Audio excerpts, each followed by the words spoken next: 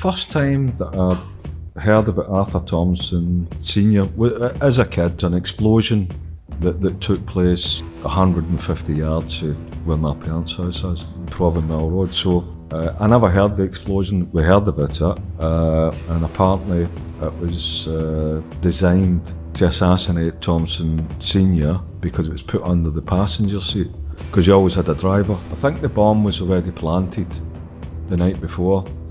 Uh, his mother-in-law, who's absolutely innocent, it's got none at all to do, and, and, and, Arthur Thompson Senior decided to take her home.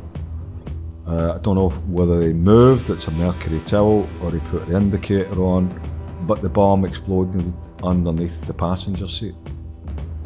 Killed her outright. Uh, so that was the big news about who Arthur Thompson was.